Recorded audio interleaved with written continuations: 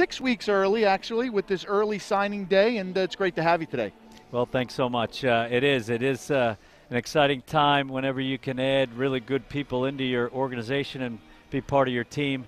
Uh, it's a fun time for us. Now, John, tell me a little bit about this 72-hour window. Obviously, it's new. It's new for you guys. Uh, obviously, you, have had a little bit more time to think about it. But how does that affect recruiting, if at all? And um, obviously, to, to tie these kids up a little early, that's got to be a good feeling. Well, it's it's a benefit because uh, you can sign and seal them and deliver them without uh, a bigger school swooping in and poaching them. But also, it just speeds everything up for us. Uh, so uh, we just had to have some official visit weekends in December mm-hmm. and, and be a little bit ahead of schedule with our preparation and decisions. Well, your your recruiting obviously starts so early in the year. You know, for these kids, you were looking at these kids pretty much almost a year, year and a half behind that. But this is your full first year recruiting. What does that mean to your staff and the continuity that you had to provide to get? Obviously, hey guys, this is our first full uh, bunch of kids that we're bringing in. How much does that change for your staff? Has there been any adjustment for you there? Well, it's just the the full year process. We start with the junior days in in February, and then we try to get kids to camp so we can see them live uh, and then that gives us a lot of information. And then you get then you get into the summer camps, uh, and then also too. Uh, then just staying with these kids through the fall and, and trying to get the ones to, to commit and then it just speeds everything up in December. So, uh, for everybody out there listening, and, and, obviously so excited about this day for Lafayette College football, uh, these kids are a lot of kids you've been on for a long time. You've had a lot of film on them. You've done a lot of dialogue with them and their parents. You've had them here to campus. Uh, and that's got to be a good feeling to finally lock them up. And as we get here, we'll we'll start to get into some of these kids. Let, let's roll some tape on a couple kids. Let's start here, if we can, with uh, Troy Fisher. Uh, Troy, and, and I got a chance to look at Troy. Troy is out of uh, Pittsburgh Central Catholic, Cranberry uh, Township. I mean, he's everything I think you talked about at being in a quarterback. Well, we really like uh, Troy. He's a three-year starter. He's thrown for over 4,500 yards and and uh, nearly 60 touchdowns, and uh, just a lot of production at a really, really good high school program.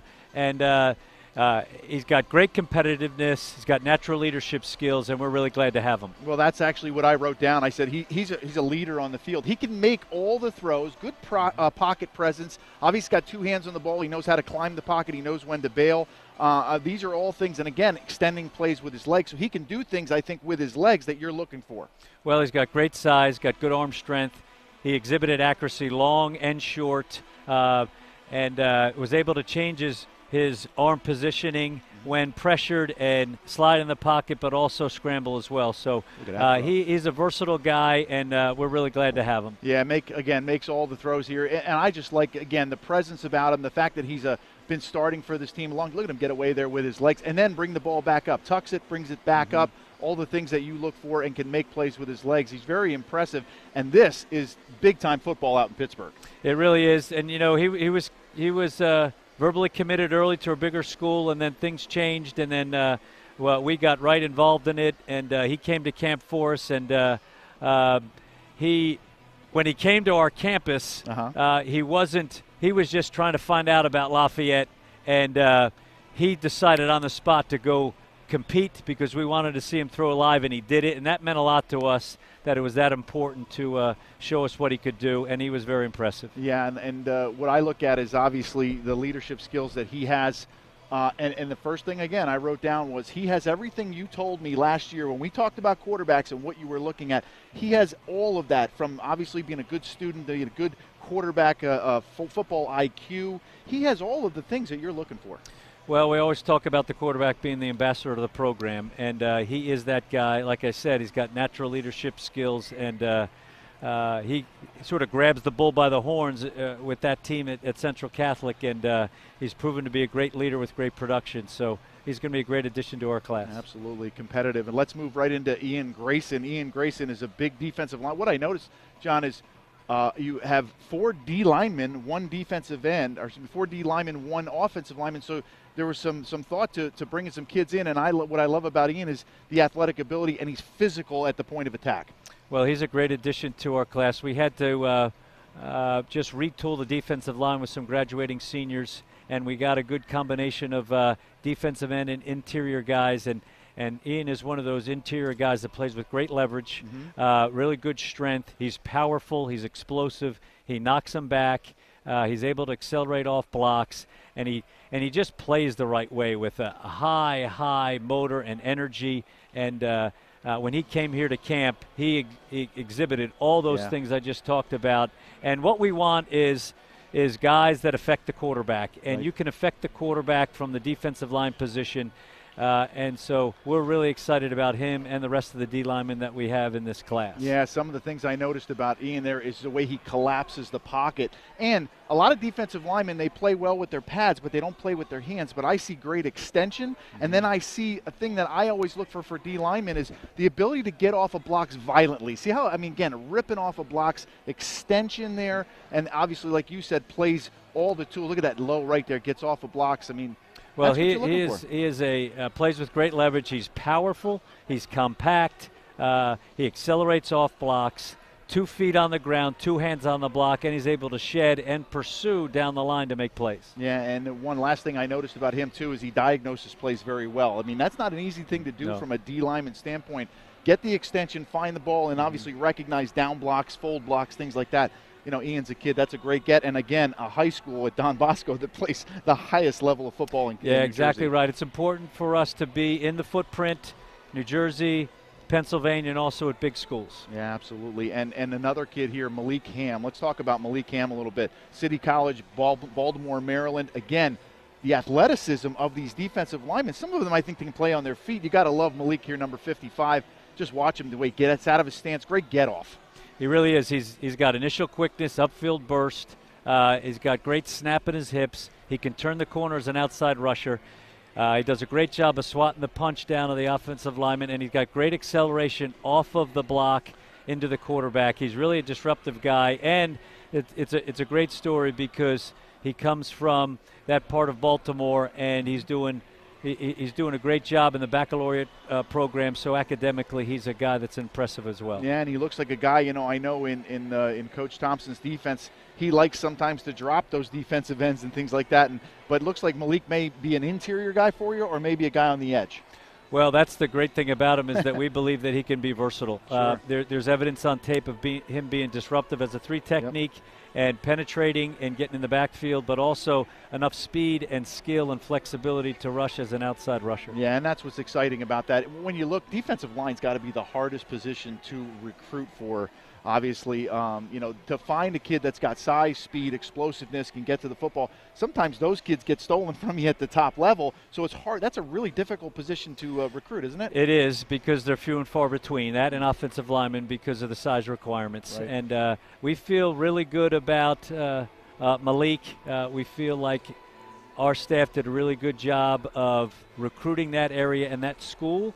And I always say to the guys, we're in the business of finding players, not eliminating them. So Yeah. let's turn over every rock and find these kids. And, and our staff did a great job of getting Malik. Okay, let's move on here. We have Colin Holbrook. Colin's a def- another defensive lineman, 6'3", 250. The Haverford School, really uh, down, right down here, plays with a lot of passion and aggression. Well, again, right in our footprint, a really good school, a profile school for Lafayette College. This guy loves football. He plays with a great motor. Uh, he's versatile too. He can play inside or outside. He's powerful enough to be on an edge as a three technique and disrupt uh, in the backfield one on one versus a guard, but also have some speed in nickel situations to play to rush outside. Yep. Plays with great energy and, and effort, and really like his toughness. Uh, really a great kid. Three very, very nice interior line. Let's move on to Zadok Scott here. I hope I'm saying that correctly. You are. You have him listed as a tight end, 6'4", 220 pounds, out of Wyoming Seminary, obviously a school that's fed us for a long time, but this kid is a big body. Yeah, he is. He, he he's taken a uh, prep school year at Wyoming Sem. He's actually from All Saints down in Fort Worth, Texas. Uh, it's a school that uh, myself and others on our staff are familiar with from uh, recruiting history, and it's a school that generates uh, really good student athletes. And this kid is a unique kid. He's long. He can run. Uh, we feel like he has some exceptional receiving skill, and at the tight end position, he can be a mismatch. Uh, nightmare for the defense. Yeah, and he, I see that mismatch coming upfield and down in the red zone. You lose uh, Dylan Wadsworth, obviously, but he he has a little bit of reminded me a little bit of To right there, the way he moves and the strength in the lower body. We got to move on here. Let's go to Billy Schaefer. Billy, another defensive end slash tight end, 6'4", 220 out of Archbishop Wood. Another school, just an amazing, amazing football school. Well, again, a great program, uh, and this kid probably more than a lot that I've seen, plays with great technique. There is evidence of coaching from him, the way he uses his hands. Two hands on the block, two feet on the ground, shed, playing through the blocks, key and diagnose, plays with a great motor. Uh, and uh, we really feel good about Wow. him. He's got he's got a great lower body, and he's just going to get bigger and stronger. And he's been really disruptive for Archbishop Wood. Absolutely. I look at a guy like Bo Bosch. Can he be like a guy like that? A guy that can come off the edge and rush for you. We're going to keep moving here, John. We have limited time here. Steven, Stan- is that I saying? Stylianos. Stylianos at a Christchurch uh, school, Hayes, Virginia, down in your old stomping grounds yeah, right there. Big that's kid. right. Uh, he is a big kid. He's versatile. He had to play a little quarterback for his school, but uh, we protect, uh, project him as a tight end, Okay. uh, as a as a Y that's on the line, can put his hand down in the dirt, but also, uh, you know, plant and cut and receive as a big body. So he's got a lot of versatility. This kid is like Renaissance man. He is a soloist in the choir. Wow. All right. He sang the national anthem when he was 10 years old at a at a high school game. My and goodness. right now he's currently on a flight to Senegal on a missions trip. Wow. Constructing solar panels to provide energy for a village out there. So, so this kid is a consummate Lafayette kid. He's got great physical potential, and uh, we use tight ends, and he is going to be a guy that uh, we really think is a great project to work with. It's going to be a nice project to work with. Our last guy here, Ben Wild, an offensive lineman. Ben, I wrote down just an immense human being, six foot six, 305. Our last guy. Yeah, he, he's uh, he's a kid that took uh, an extra year at the Hun School. He's big and powerful. Uh, he's going to probably play guard for us. Got wide shoulders, great strength, really good hand placement and punch. Uh, and he was dominant at the Hun School, and we're really glad to have him. John, that is a quick wrap up of the early signing period. Thank you so much. I appreciate you being here. We're going to get back into this in February again. We'll go through all the guys again, but a quick look. I tell you what, that is a heck of a start for the Lafayette College football program. Thank you very much. We're excited, and go Leopards. Absolutely.